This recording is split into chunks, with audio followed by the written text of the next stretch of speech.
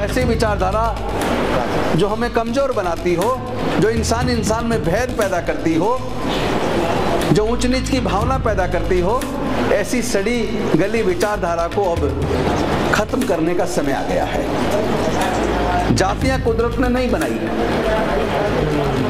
जातियाँ इन चालाक इंसान ने बनाई अपने फ़ायदे के लिए। जिन स्थानों पर वो करोड़ों लोग इकट्ठा होते हैं, उन्हीं स्थानों पर हमारे करोड़ों लोग बौद्ध धर्म की दीक्षा लेने के लिए इकट्ठे होंगे। देश के जितने स्टेडियम हैं, जितने प्लेग्राउंड्स हैं, जितने अंबेडकर भवन हैं, जितने कबीर भवन हैं, जितने रविदास भवन हैं, जितने बौद्ध विहार हैं हम सारे के सारे कम्युनिटी हॉल हैं। हम एक साल पहले बुक कर लेंगे 2024 में। एक हिस्ट्री का स्टूडेंट होने के नाते मैंने जो इतिहास को पढ़ा है, लगभग 4000 साल पहले जब भारत में आर्यंस आए,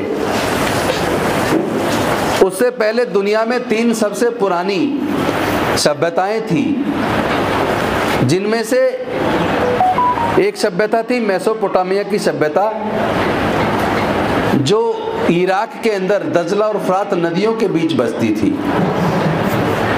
दूसरी सभ्यता इजिप्ट की सभ्यता थी और तीसरी सभ्यता भारत की हड़प्पा संस्कृति है सिंधु घाटी की सभ्यता थी। पूरे दुनिया के अंदर जातियाँ नहीं हैं। और सिंधु घाटी की सभ्यता के समय भारत में भी कोई जातियाँ नहीं थी। फिर आर्यंस भारत में आए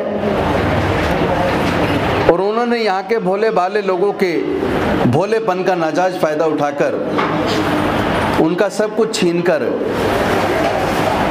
उनको गुलाम बनाया। लेकिन उनके मन में एक डर था कि यहाँ के जो इंडियन ओरिजिन्स हैं मूल निवासी उनकी संख्या इतनी ज़्यादा है और जो आर्यंस विदेश से आए थे, उनकी संख्या कम है। तो जिस दिन भारत के लोगों को समझ आ गई, वो अपने हक अधिकार वापस ले लेंगे। इसीलिए उन्होंने एक षड्यंत्र करके भारत के मूल निवासियों में जातियाँ बना दी और उनको जाति के आधार पे हज़ारों जातियों में बांट दिया। और उसमें इतनी कुरुतियाँ थी। जैसे जो भारत के मूल निवासी थे, उनको शूद्र बना दिया, जो चार वर्णों में समाज को बांटा और शूद्रों के पढ़ने लिखने पर धार्मिक बंदिश लगा दी। शूद्रों के ज्ञान प्राप्त करने के रास्ते पर धार्मिक बंदिश लगा दी। शूद्रों के व्यापार करने पर धार्मिक बंदिश लगा दी। शूद्रों के संपत्ति अर्जित करने पर धार्मिक बंदिश लगा दी। जिसकी वजह से हमारे देश के 88 परसेंट लोग जिनको शूद्र वर्ण में रखा, वो सब कमज़ोर, दीनहीन हो गए और हज़ारों साल तक गुलाम रहे। लेकिन कुछ हज़ार एक साल के बाद ही उनकी कुरुतियों से बाहर निकलने के लिए एक बहुत बड़ी क्रांति हुई। इसलिए पूरे दुनिया के सबसे पुराने क्रांतिकारी के तौर पर अगर बात की जाए तो वो दुनिया में तथागत बुद्ध हैं। जिन्होंने उस समय समाज की बुराइयों के खिलाफ बहुत बड़ी क्रांति करके एक समतावादी विचारधारा, एक संघवादी विचारधारा सबको साथ लेके चलने वाली विचारधारा को जन्म दिया। और उसके बाद भारत का विकास शुरू हुआ और भारत सोने की चिड़िया कहलाया। मौर्य वंश के अंतिम सम्राट ब्रदरथ के सेनापति पुष्यमित्र शुंग ने छल कपट से राजा ब्रदरथ की हत्या की और उसके बाद पूरे भारत के अंदर म्यांमार से लेके काबुल कंदार तक भारत था। चौरासी हज़ार बौद्ध मठों को निस्तनाबूद किया। पूरे भारत के अंदर ढूंढ ढूंढ के बौद्ध भिक्षुओं की हत्याएँ करवाई और उसके बाद शोषण पर आधारित, छल कपट पर आधारित, अन्याय पर आधारित विषमतावादी विचारधारा को पुनर्स्थापित किया। उसके बाद से ही भारत लगातार कमज़ोर होता चला गया। आज मैं समझता हूँ कि उस गुलामी से उस साढ़े तीन, चार हज़ार साल की गुलामी से अगर किसी ने हमें बाहर निकाला तो वो डॉक्टर बाबा साहेब अंबेडकर थे। वो अलग बात है कि तथागत बुद्ध की उसी विचारधारा को संत गुरु रविदास जी आगे लेके चले। उसी विचारधारा को ज्योतिबराव फूले आगे लेके चले। उसी विचारधारा को डॉक्टर बाबा साहब अंबेडकर इतने आगे लेकर आए कि उन्होंने भारत को बौद्ध में बनाने का सपना देखा। 14 अक्टूबर 1956 को जब उन्होंने बौद्ध धर्म की दीक्षा ली तो उनका सपना था कि अब मैं भारत को बौद्ध में बनाऊँगा। लेकिन एक महीना 22 दिन के बाद ही उनका महापरिनिर्माण हो गया और वो बाबा साहेब का जो सपना था भारत को बौद्ध में बनाने का, शोषण मुक्त समाज की स्थापना करने का, वो सपना सपना रह गया। इस बीच अनेकों, हमारे समाज के अनेकों नेता आए, समाज सुधारक आए, जिन्होंने बाबा साहेब के सपने को साकार करने का कुछ प्रयास किया। जिनमें पहले अगर कोई थे जिसको हम स्वीकार करते हैं तो वो बुद्धप्रिय मौर्य थे। उनके जाने के बाद उसी सपने को साकार करने की कोशिश मान्यवर कांसीराम साहब ने की। लेकिन उनके जाने के बाद पूरा वैक्यूम है। कोई नेतृत्व समाज को नहीं मिला। और वो बाबा साहेब का बौद्ध में भारत के निर्माण का सपना सपना रह गया। 14 अक्टूबर 2020 को मैं नागपुर दीक्षा भूमि गया। और दीक्षा भूमि को नमन करके जब मैं बाबा साहेब की प्रतिमा को निहार रहा था तो मुझे ऐसा लगा कि जैसे बाबा साहेब मुझे ये कह रहे हों कि ये जो हमने सपना देखा था, क्या ये सपना सपना रह जाएगा? क्या भारत में कोई नेतृत्व तो देने के लिए तैयार नहीं है? अगर बुद्धिज्म से अच्छा कोई दूसरा मार्ग है तो दूसरा अपना लो। और अगर आप कहते हो सर्वोत्तम मार्ग बुद्धिज्म है तो फिर बुद्धिज्म को पूरे देश में फैलाने के लिए आप लोग क्या कर रहे हो? वही मैंने संकल्प लिया। कि हम बाबा साहेब के बच्चे हैं, बाबा साहेब की संतान हैं। हम अपने जीवन का अब ज़्यादातर समय बाबा साहेब के उस सपने को साकार करने पर लगाएँगे और भारत को बौद्ध में भारत बनाने का हमने संकल्प लिया और वहीं पे ये भी संकल्प लिया कि आने वाले पाँच साल के अंदर हम भारत में कम से कम दस करोड़ लोगों को अपने बुज़ुर्गों की उस सांस्कृतिक विरासत में बुद्धिज्म में वापस लाने का काम करेंगे, क्योंकि हमारे पूर्वज बौद्ध थे। हम कोई धर्म परिवर्तन नहीं कर रहे हैं, हम तो घर वापसी कर रहे हैं। ऐसी विचारधारा, जो विचारधारा हमें शोषण, हमारा शोषण करती हो, हमें गुलाम बनाती हो, हमारी माँ बहन बेटियों की इज़्ज़त लूटती हो, ऐसी विचारधारा जो हमें कमज़ोर बनाती हो, जो इंसान इंसान में भेद पैदा करती हो जो ऊंच नीच की भावना पैदा करती हो, ऐसी सड़ी गली विचारधारा को अब खत्म करने का समय आ गया है। जातियाँ कुदरत ने नहीं बनाई। जातियाँ इन चालाक इंसान ने बनाई अपने फ़ायदे के लिए। क्योंकि पूरे दुनिया में जातियाँ नहीं है, भारत और भारत के सब कॉन्टिनेंट में जातियाँ हैं। जहाँ भारत से जाकर लोग बस गए, उन्होंने जातियाँ पैदा कर दी। वरना पूरी दुनिया में जातियाँ नहीं है। समय आ गया है, उन्होंने अपने फ़ायदे के लिए जातियाँ बनाई और हम बट गए। आज जब हमें पता चल गया, हम सबके पूर्वज एक थे, हमारा खून एक है तो अब जातियों को खत्म करने का समय आ गया है। तो हमने संकल्प लिया जाति तोड़ो, समाज जोड़ो। इस मूवमेंट को पूरे देश में हम फैलाएँगे और आने वाले पाँच साल के अंदर अंदर कम से कम दस करोड़ लोगों को बुद्धिज़्म में, अपने सांस्कृतिक विरासत में, अपने बुज़ुर्गों के धम्म में वापस लाने का हम काम करेंगे। उसी के तहत आज का ये धम्म चर्चा इसलिए रखी थी कि हम एक पॉलिटिशियन भी हैं। हमारी नीयत पे कुछ लोग शक कर सकते हैं। तो हम इस धम्मे के काम को बौद्ध भिक्षुओं के माध्यम से इसको आगे बढ़ाएँगे। उसमें जो भी कुछ करना पड़ेगा हम करेंगे। पूरी टीम बन के हमारी काम करेगी, पूरी टीम जुटेगी। सारे संसाधन भी हम सब लोग मिल के जुटाएँगे। लेकिन इस प्रोग्राम का जो जो आयोजन इतना बड़ा, दुनिया का सबसे बड़ा जो आयोजन होने वाला है, उसका नेतृत्व तो हमारे बौद्ध भिक्षु करेंगे। उस पर चर्चा करने के लिए आज हमने ये धम्म संसद रखी थी। और हम चाहते अभी तो गिने चुने कुछ लोग बुलाए हैं। अगली मीटिंग आने वाले दो महीने के अंदर अंदर अंबेडकर भवन पे रखेंगे, जिसमें कम से कम 500 बौद्ध भिक्षुओं को हम बुलाएँगे। कुछ यहाँ आज बिंदु आप लोगों ने उठाए हैं, जिसकी चर्चा अक्सर उपासक लोग करते हैं। इसमें कोई संदेह नहीं है कि आचरण में उपासकों के बुद्धिज्म नहीं है और आचरण में भिक्षुओं के भी बुद्धिज्म दिखता नहीं है। उनके धर्मगुरु जब बोलते हैं मंच पे, हज़ारों की संख्या होती है तो उनकी वाणी में ऐसा क्या है कि लोग घंटों घंटों तक उनको बैठ के सुनते हैं।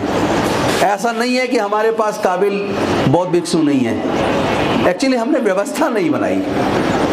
हम सब लोग स्वार्थी हो गए हैं। भिक्षुओं को मैं समझता हूँ, हमें सम्मान देना चाहिए। और भिक्षुओं को जब हम सम्मान देंगे, उनको किसी तरह की दिक्कत होने नहीं देनी चाहिए। भिक्षु भी मठाधीश ना बने। वो भी ध्यान रखें कि दो महीने एक बौद्ध विहार में तो फिर दो महीने किसी दूसरे में, फिर तीसरे में, और फिर वो जहाँ रहें वहाँ उपासकों का ये फ़र्ज़ बनता है वो खुद ध्यान रखें कि, कि बौद्ध भिक्षु खाना डेली कहाँ खाएँगे? प्रवचन कहाँ होगा? प्रवचन चलते रहने चाहिए। जब धमदेशना होगी रेगुलर होगी तो समाज में धम्म का संचार होगा। अब ना तो कहीं धर्म देशना है और कई बार तो ऐसा होता है कि कहीं ना कहीं एक चूँकि सिस्टम बिगड़ गया है बौद्ध भिक्षु भी आपस में बहस पे उतर आते हैं और मतलब सार्वजनिक तरीके से उतार आते हैं। तो जो संदेश पॉजिटिव जाना चाहिए, वो नेगेटिव चला जाता है। इसमें किसी को मैं दोष नहीं देना चाहता। ना मैं भिक्षुओं को दोष देना चाहता हूँ, ना मैं उपासकों को देना चाहता हूँ। मैं तो सिर्फ़ ये कहना चाहता हूँ कि हमें खुद को इसको सुधारना है।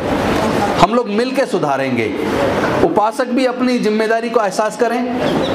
और अपने आचरण में सुधार लाएँ। और भिक्षु भी ज़्यादा से ज़्यादा अध्ययन पे ध्यान दें और अध्ययन करके धम्म देशना में लोगों को धम्म क्या है? धम्म की लोगों को ज़रूरत क्यों है? बुद्धिज्म ही क्यों सर्वोत्तम है? तथागत ने कितने साले दृष्टांत बोले हैं? तथागत हमेशा सवाल पूछ के दूसरे के सवाल का जवाब दे दिया करते थे। तो उस तरह की चीज़ें हमें अपने अंदर भी डेवलप करनी है। तब मैं समझता हूँ बुद्धिज्म आगे बढ़ेगा क्योंकि सर्वोत्तम तो बुद्धिज्म ही है। और सर्वोत्तम होने के बावजूद अगर नहीं बढ़ रहा है, इसके लिए कहीं ना कहीं हम स्वयं दोषी हैं। हमें खुद इसके ऊपर विवेचना करनी होगी, इस पर चिंतन करना होगा। हो सके तो कुछ पाँच सात लोगों की बंदे जी कमेटी बना दो। जो इस इस पे चिंतन करके एक रिपोर्ट प्रस्तुत करें कि कहाँ कहाँ गलतियाँ हैं, समाज से क्या गलतियाँ हो रही हैं, उपासकों से क्या गलती हो रही है, बौद्ध भिक्षुओं से क्या गलती हो रही है, इसका समाधान क्या है? चाहे उसका समाधान का एक हिस्सा बौद्ध भिक्षुओं का ट्रेनिंग सेंटर हो या दूसरा हो। जैसे लोग कहते हैं कि मैं विपसना करके आया हूँ, अब मन बड़ा शांत है। और जरा सी बात पे गुस्सा होकर लड़ने लग जाएँ। या बौद्ध भिक्षु भी आपस में लड़ने लग जाएँ तो फिर आप, आचरण में आपके बुद्धिज्म तो नहीं है। विपसना, मैं समझता हूँ शांति आदमी के दिमाग में है। लोग दुनिया में ढूंढ रहे हैं। बुद्धि, तथागत बुद्ध ने जो इतने दिन तक बैठ के तपस्या की तो जो जवाब मिले उनके अंदर से आए हैं। वो कहीं बाहर से नहीं आए जवाब। जवाब उन्होंने खुद खोजे हैं। उन्होंने अपने आप चिंतन किया है। तो हमें भी चिंतन करना पड़ेगा। हमें खुद को अपने अंदर के विकारों को दूर करना पड़ेगा। हमारे हमारे भाषा में सरलता होनी चाहिए, मिठास होनी चाहिए कन्विंसिंग होनी चाहिए। हम जो बोलते हैं वो दूसरों को सुनने में अच्छा लगे। लोग आधा घंटे तक हिले ना। वो चाहें कि वो बोलता रहे और हम सुनते रहें। तब हमने समझो कुछ अर्जित कर लिया है। अब हम इस लायक हो गए कि हम धम देशना दे के दूसरों को कन्विंस करना सीख गए हैं। ये चीज़ हमें डेवलप करनी पड़ेगी। और अगर कहीं पे ऐसा एक ट्रेनिंग कैंप बनाने की ज़रूरत पड़ी, जहाँ से हम बहुत भिक्षुओं को ट्रेनिंग दें, उससे पहले मैं चाहता हूँ कि जो उपासक है, उनको भी ट्रेनिंग की ज़रूरत है। आज आरएसएस इसलिए आगे बढ़ रहा है क्योंकि उनके परमानेंट ट्रेनिंग सेंटर हैं, उनकी ट्रेनिंग कंटिन्यूस चलती रहती है, वो लाइव प्रोसेस है। ऑनगोइंग प्रोसेस है, वो कभी बंद नहीं होता। हमारी प्रॉब्लम ये है, हमारा परमानेंट कोई स्ट्रक्चर नहीं है। परमानेंट कोई ट्रेनिंग सेंटर नहीं है। लेकिन मुझे खुशी है कि मिशन जय भीम ने बहुत तेज़ गति से इस दिशा में काम किया है और दिल्ली के अंदर मिशन ज़मीन के सारे साथियों ने अपने बैंक से अकाउंट से चेक काट कर एक नंबर में ईमानदारी से दिल्ली के अंदर एक लगभग साढ़े पाँच बीघा ज़मीन खरीदी है, जिसमें हम परमानेंट कैडर सेंटर स्थापित करने वाले हैं। जहाँ हमारे समाज के युवा या बुज़ुर्ग भी हों, वो उस ट्रेनिंग सेंटर में जाएँ, एक महीने का कोर्स करें। पंद्रह दिन का कोर्स करें। मिशन जय भी उनके खाने, सोने, सारी व्यवस्था वहीं पे करें। और वहाँ एक स्टडी का एक अलग से लाइब्रेरी भी हो कि हम ट्रेनिंग भी लें और साथ में खाली टाइम में दो तीन घंटे अध्ययन भी करें। तो इस दिशा में हम काम कर रहे हैं। ज़रूरत पड़ेगी तो बौद्ध भिक्षुओं की ट्रेनिंग के लिए भी हम एक व्यवस्था जल्दी हम भविष्य में बनाएँगे। लेकिन मुझे आपकी, हमारी पूरी टीम को जो पूरी मिशन जय भीम की टीम है। सुभाष आर्य जी हमारे एक बार खड़े होंगे, राष्ट्रीय अध्यक्ष हैं मिशन जय भीम के। और आप दिल्ली जल बोर्ड से चीफ इंजीनियर की पोस्ट से रिटायर हुए हैं। समता सैनिक दल में पिछले 25-30 साल से जुड़े रहे हैं। समता सैनिक दल के राष्ट्रीय सचेतक रहे हैं। और जो चीफ इंजीनियर रहे तो पूरे दिल्ली को पानी पिलाने का कैसे पहुंचाना है पानी घर घर तक? उनको अच्छा अनुभव है। तो हमने सोचा कि वो इतने अनुभवशील हैं तो उनके ज्ञान का हम इस्तेमाल करके पूरे देश में बुद्धिज्म को फैलाने के लिए मिशन जय भीम को आगे बढ़ाएँगे। तो इतने काबिल साथी हमारे पास हैं। आप बैठिए। अभी किसी की परिवार में डेथ हुई है, जिसकी शोक सभा शायद है तो हमारे जो राष्ट्रीय महासचिव जो बैठे हुए थे मेरे बगल में कुछ देर पहले, बीपी मौर्य, वो बीपी निगम साहब, वो डीटीसी से चीफ जनरल मैनेजर की पोस्ट से अभी रिटायर हुए हैं। पहले व्यक्ति उस पोस्ट तक हमारे समाज के पहुँचे, उसके ऊपर आई एस होता है। तो वो वहाँ से रिटायर हुए। मैंने कहा, तुम धम का काम और समाज का काम करो। वो राष्ट्रीय महासचिव है और बहुत अच्छे से वो अपने ज़िम्मेदारी को अंजाम दे रहे हैं। पुष्पांकर जी हैं, लेक्चरर रिटायर हुए हैं। आप संगठन का काम मिशन जय भीम का देख रहे हैं। रोशन लाल सागर जी हैं, मिशन जय भीम के उपाध्यक्ष की भूमिका निभा रहे हैं। उधर प्रदीप सागर जी हैं और मतलब पूरी की पूरी टीम है और सारे वेल क्वालिफाइड लोग हैं, समर्पित लोग हैं और सब लोग सिर्फ़ ये चाहते हैं भारत बौद्ध में बने। हमारा सिर्फ़ इतना सपना है, भारत बौद्ध में बने और जो गौरवशाली राष्ट्र की एक हमारी पहचान भारत की बुद्ध के शासन में थी, वही भारत की गौरवशाली पहचान वापस आए। उसके लिए हम काम करेंगे। तो जल्दी दो एक महीने के अंदर कम से कम 500 बौद्ध भिक्षुओं की संगति अंबेडकर भवन पे हम लोग रखेंगे। और आप लोग विचार करके बीच बीच में हम लोग आपस में बात करेंगे कि ये जो बुद्धिज़्म का दस करोड़ बौद्ध बनाने का सपना कैसे पूरा हो। इसमें आपकी विचार की बहुत ज़्यादा ज़रूरत हमें पड़ेगी, क्योंकि हम आपके नेतृत्व में इस कारमा को चलाना चाहते हैं। कुछ लोगों ने मेरे से सवाल किया कि आप बोल तो रहे हो, दस करोड़ लोगों का आयोजन कहाँ करोगे? इतनी बड़ी जगह कहाँ है? तो मैं आपको बताऊँ, मैंने उनको जवाब दिया कि लोग जब शादी के लिए डेट दिखवाते हैं ब्राह्मण से तो एक सीज़न होता है जब शादी की डेट एक दिन के अंदर लाखों लाखों शादी होती है और उनमें करोड़ों लोग एक साथ इकट्ठा होते हैं। जिन स्थानों पर वो करोड़ों लोग इकट्ठा होते हैं, उन्हीं स्थानों पर हमारे करोड़ों लोग बौद्ध धर्म की दीक्षा लेने के लिए इकट्ठे होंगे। देश के जितने स्टेडियम हैं, जितने प्लेग्राउंड्स हैं, जितने अंबेडकर भवन हैं, जितने कबीर भवन हैं, जितने रविदास भवन हैं, जितने बौद्ध विहार हैं, हम सारे के सारे कम्युनिटी हॉल हैं। हम एक साल पहले बुक कर लेंगे 2024 में। पूरे दुनिया का इंटरनेशनल मीडिया उसको कवरेज करेगा। लाइव टेलीकास्ट पूरे दुनिया के अंदर उसका होगा। इतना बड़ा आयोजन हम लोग करना चाहते हैं, लेकिन हम चाहते हैं कि उसको नेतृत्व हमारे बहुत भिक्खू करें, भिक्खु संघ करें। हम आपके नेतृत्व में इस आयोजन को आगे बढ़ाना चाहते हैं, लेकिन इसके लिए बड़े धैर्य की ज़रूरत है। अनफॉर्चुनेटली हमारे उपासकों में भी, और कई बार माफ़ कीजिएगा, बौद्ध भिक्षुओं में भी धैर्य की थोड़ी सी कमी है। हम लोग धैर्य सीखें। एक व्यक्ति बोल रहा है, इसे बोलने दो। जब उसकी बात पूरी हो जाए, आपको जो त्रुटियाँ लग रही हैं, उस पर बाद में चर्चा की जा सकती है। लेकिन उसको बोलते हुए को बीच में रोकना, ये कदापि उचित नहीं है। हमको हर चीज़ हर आचरण में हर चीज़ों को सुधारना है। जब हम पंचशील की बात करते हैं तो उसको सबसे पहले उदाहरण हमें खुद करना होगा। मैं खुद अपने ऊपर पंचशील का पूरा पालन करने का प्रयास करता हूँ।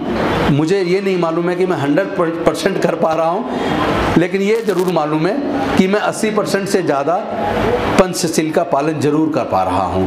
क्योंकि कई दफ़ा झूठ जो है किसी के फ़ायदे के लिए भी बोलना पड़ जाता है। लेकिन किसी को नुकसान पहुँचाने के लिए कभी झूठ नहीं बोलते हैं। वे विचार हम बिल्कुल नहीं करते, चोरी हम नहीं करते, हिंसा वाणी से या कर्म से, वो भी हम नहीं करते। लेकिन नशा किसी प्रकार का हम नहीं करते। लेकिन झूठ ज़रूर कभी कभी जब लगता है जिस झूठ को बोलने से कुछ फ़ायदा रहेगा, नुकसान नहीं होगा, तब ज़रूर बोल देते तो इसलिए मैंने कहा कि 80 परसेंट पंचशील का पालन करने का हम प्रयास करते हैं। तो आज एक बार ज़रा देख लो खाने की क्या स्थिति है। मुझे बेहद खुशी है कि आप सब आए। और अगला जो हमारी मीटिंग हो, मैं एक निवेदन ज़रूर करता हूँ कि कुछ बौद्ध भिक्षु जो प्रभावशाली है ऐसा नहीं कि नॉलेज नहीं नॉलेज तो हो सकता है ज़्यादातर को हो। नॉलेज होना अलग बात है और प्रभावशाली तरीके से अपनी बात को कहना अलग बात है। वकील सब होते हैं, कानून सब पढ़ते हैं। कोर्ट के सामने जब बहस होती है तो कई बार जो वकील अपनी बात को ढंग से नहीं बोल पाता, उसने शायद बहुत अच्छे, प्रभावशाली तरीके से बोलने वाले से ज़्यादा पूरे केस को पढ़ा होता है। उसको नॉलेज भी होती है। उसको लगता भी है, मैं पूरी बात नहीं कह पाया। तो अपनी बात को प्रभावशाली तरीके से कहना एक आर्ट है। ये आर्ट हमें अपने बौद्ध भिक्षुओं में डेवलप करनी पड़ेगी और वो तब होगी जब हम उनको मौका देंगे। अगर हम उनको मौका ही नहीं देंगे हम कहेंगे बस पाँच मिनट दो मिनट इंट्रोडक्शन में लग गई। अब तीन मिनट में क्या बुद्धिज्म पर चर्चा होगी? नहीं हो सकती।